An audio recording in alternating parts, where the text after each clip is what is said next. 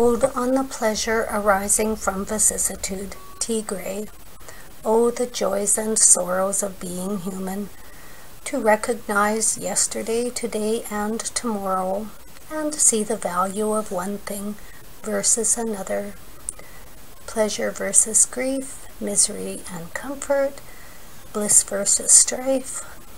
If lucky enough to rise from the deathbed, the smallest things seem like paradise.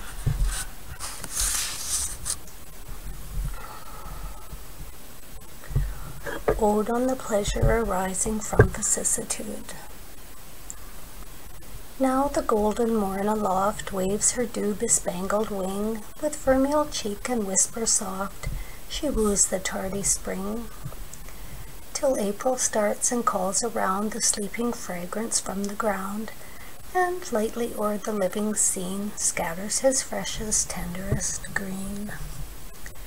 Newborn flocks in rustic dance, frisking ply their feeble feet, forgetful of their wintry trance, the birds his presence greet. But chief the skylark warbles high, his trembling, thrilling ecstasy, and lessening from the dazzled sight, melts into air and liquid light. Yesterday the sullen year saw the snowy whirlwind fly.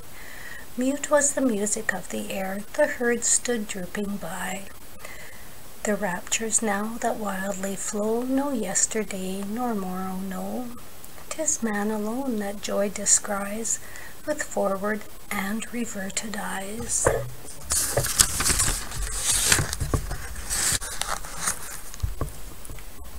Smiles on past misfortune's brow, soft reflections hand can trace, and o'er the cheek of sorrow throw a melancholy grace. While hope prolongs our happier hour, or deepest shades that dimly lower, and blacken round our weary way, gilds with a gleam of distant day. Still, where rosy pleasure leads, see a kindred grief pursue, behind the steps that misery treads, approaching comfort view.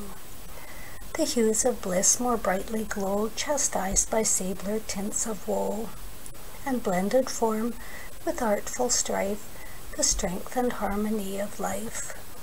See the wretch that long has tossed on the thorny bed of pain, at length repair his vigor lost, and breathe and walk again the meanest floweret of the vale, the simplest note that swells the gale.